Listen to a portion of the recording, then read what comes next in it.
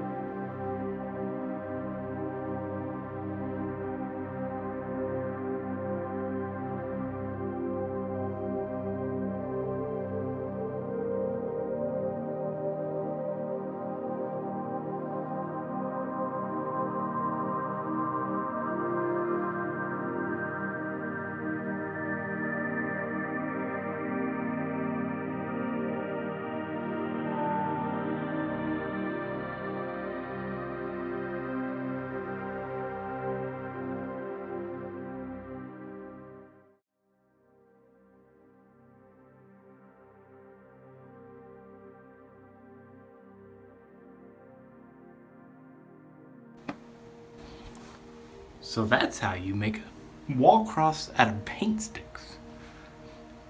Give it a try. Let me know what you think. Super easy. So now you know how to make a wall cross out of paint sticks, plaster glue, and paint.